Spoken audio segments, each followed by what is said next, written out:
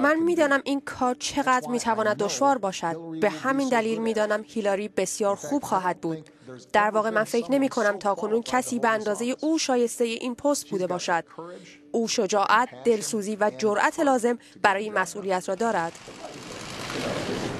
این بخشی از پیام باراک اوباما رئیس جمهوری آمریکا در حمایت از نامزدی هیلاری کلینتون در انتخابات آتی ریاست جمهوری این کشور بود که ساعتی پس از ملاقات او با برنی ساندرز رقیب درون حزبی خانم کلینتون منتشر شد. آقای ساندرز نیز پس از این دیدار گفت من مشتاقانه منتظر ملاقات با او در آینده نزدیک هستم تا ببینیم چطور می توانیم برای شکست ترامپ و ایجاد دولتی که نماینده همه ما باشد با یکدیگر همکاری کنیم.